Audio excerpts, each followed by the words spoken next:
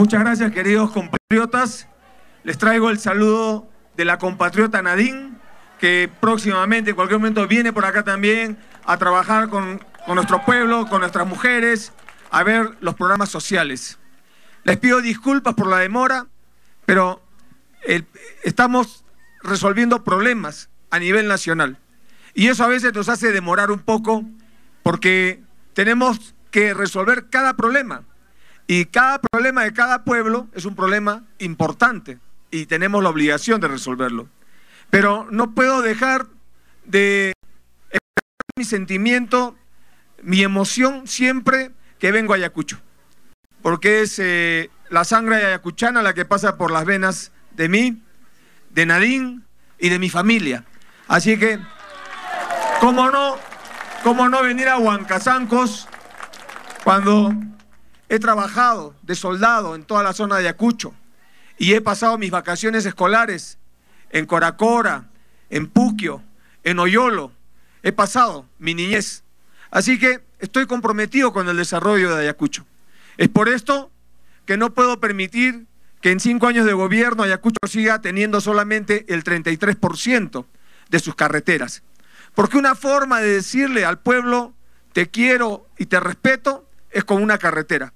Y hoy día esa carretera hace que de 12 horas pasemos a 3 horas, salvo eh, Desiderio que lo hacen 4, pasemos a 3 horas hasta la capital. ¿No?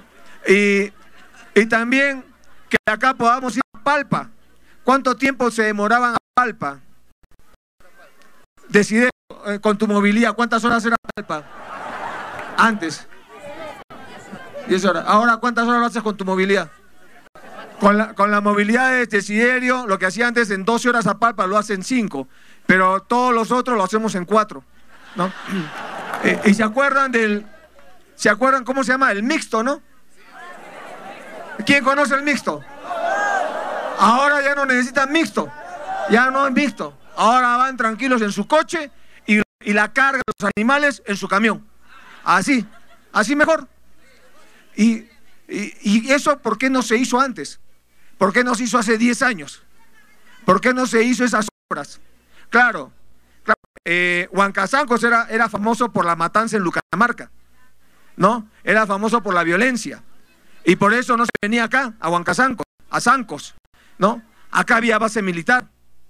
Y efectivamente, cuando Desiderio nos habla, cuando nuestro congresista Pepe Quiso nos dice y cuando comenta, cuando nos comenta Wilfredo de, de las deudas, las reparaciones, este gobierno es el que ha ido reparando al 100% las reparaciones individuales. Pero también tenemos que levantar la economía de nuestro pueblo, porque si no levantamos a Ayacucho, no podemos mirar con tranquilidad el desarrollo del país. El Perú dejó de ser un país pobre. El Perú hoy día es un país de renta media. Pero ese es un promedio. Y el hombre promedio, la mujer promedio, no existe, es una, es una semisuma aritmética entre pocos que tienen mucho y muchos que tienen poco. Y dentro de esto, Ayacucho, eh, Apurímac, Huancavelica, Madre de Dios, en otras regiones, son las regiones que han quedado rezagadas. Y como lo dije en Vilcahuamán, y dicho sea de paso, Pepe, en Vilcahuamán también estamos haciendo la, ampliación de la carretera, me parece, el asfaltado, ¿no? De doble vía, estamos haciendo esto, ¿no? Entonces, estamos tratando de completar todas las obras, sí, compatriota, todas las obras, todas las obras. Estamos tratando de completarlas a marchas forzadas. Para hacer esta carretera, hemos tenido que pasar la carretera a la responsabilidad de Provías Nacional, quitársela, no quitársela, pero sí pedírsela a Wilfredo que la tenía él en su gobierno regional y hemos coordinado, hemos trabajado juntos para que esa re- carretera pase al gobierno central y podamos intervenir nosotros. Porque aquí las autoridades trabajamos sin pelearnos, trabajamos juntos y de esa manera podemos avanzar. Porque si estuviéramos peleados, no avanzaría ningún proyecto. Y yo no me puedo dar el lujo de pelearme con una autoridad regional ni con un alcalde, y menos todavía de Ayacucho. Menos de Ayacucho. Así que acá tenemos que trabajar juntos, Wilfredo, Pepe, nuestros alcaldes, trabajar juntos para sacar adelante a Ayacucho. Es por esto, es por esto, es por esto que en el último consejo, en el último consejo de ministros descentralizado que hicimos en Tambo, hemos comprometido 3.500 millones de soles para Ayacucho. Esa es plata del gobierno central. Aparte es el presupuesto regional de los alcaldes. Esa es plata que estamos poniendo nosotros. Y ya estamos superando los 3.500 millones de soles. Y por esto quiero decirles, acá hemos hablado de proyectos, pero yo tengo otro proyecto que darles a ustedes. Es una esperanza, una oportunidad, un sueño. Y es decirles, sí, todo esto va a ir avanzando, no solamente con letreritos, sino, lo he escuchado a Desiderio. Desiderio plantea todo lo que quiere.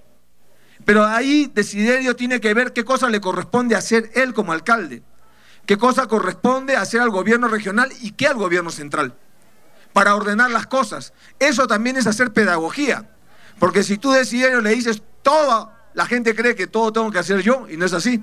Una parte le corresponde a Wilfredo, otra parte te corresponde a ti, otra parte me corresponde a mí. Y cuando ellos no pueden y necesitan ayuda, yo vengo con todo el gusto, con todas las ganas, con toda la, buena intención de apoyarlos. No dejaré de apoyar los proyectos de Ayacucho. Seguiremos trabajando con Ayacucho. Estamos hoy día no solamente conectando Ayacucho con, con las regiones de Ica, de Apurima, Huancavelica, Cusco. Estamos penetrando en el Braen con carretera asfaltada, sino también estamos, conectándonos con Arequipa a través de la carretera que debe ir de Parinacochas a Paucar del Sarazara y de ahí pasar a Cotahuasi. Estamos creando todo un circuito carretero.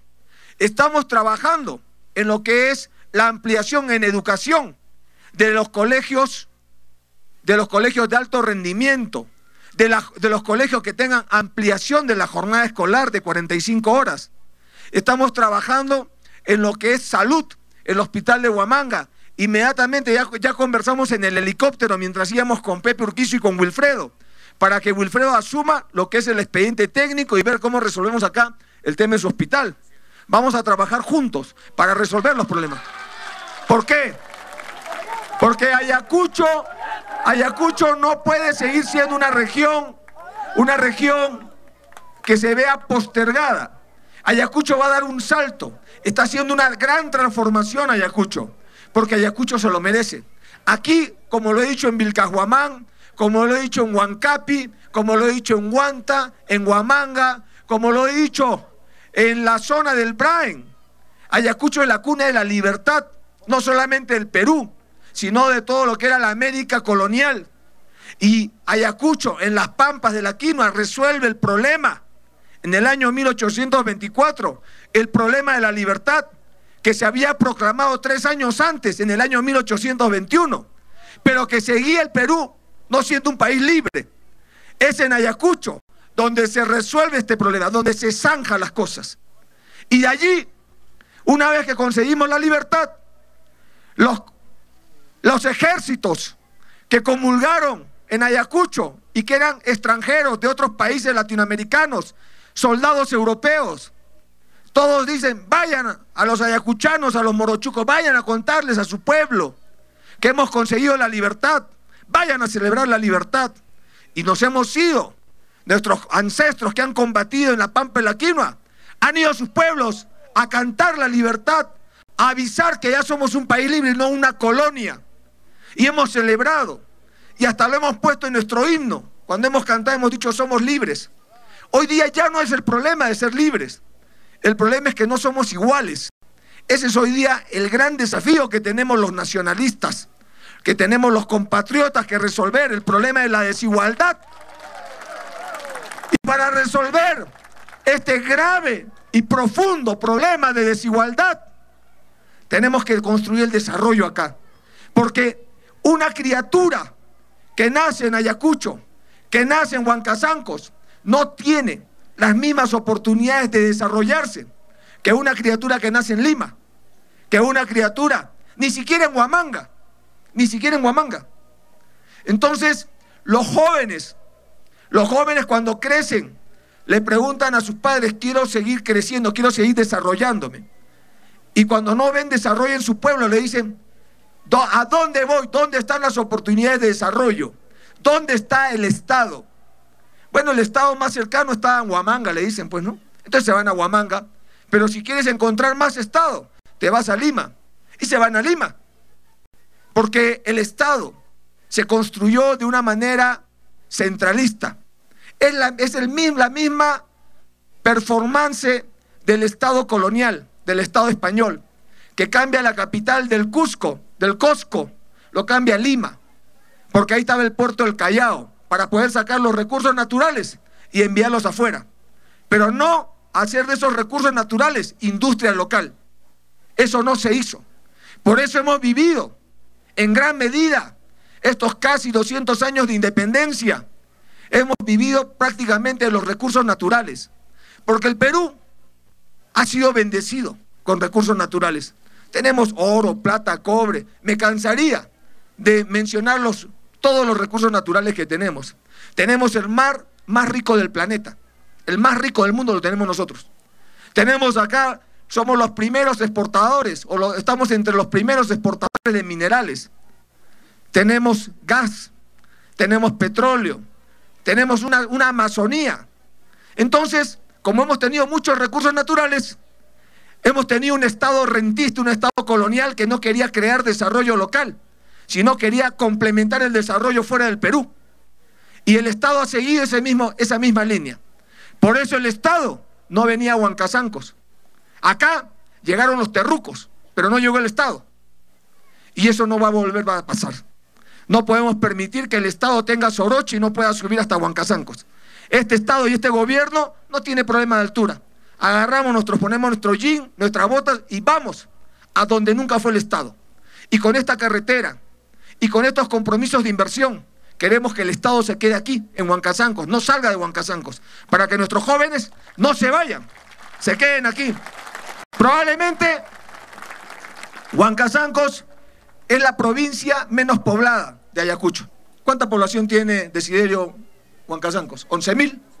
11 mil habitantes. ¿Por qué 11 mil? Si Ayacucho tiene más de 300 mil habitantes ahora. 750 mil habitantes tiene Ayacucho, de los cuales solamente 11 mil están en, en Huancazancos. Huancazancos, si sigue despoblándose, podría ser distrito. Porque ya no tiene población. Y no podemos permitir eso. Por eso hay que desarrollar Huancazancos. Para que los jóvenes se queden aquí. Para que los jóvenes estudien acá. Hagan su profesión acá y más bien de acá podamos exportar profesionales. Y podamos hacer ese rico queso que me han entregado. Podamos hacer una planta lechera, una planta de lácteos. Y entonces entiendo por qué necesitan su represa. Y vamos a trabajar juntos para darles esas oportunidades a Huancazancos. Porque se lo merecen. Tenemos que seguir trabajando sin pelearnos.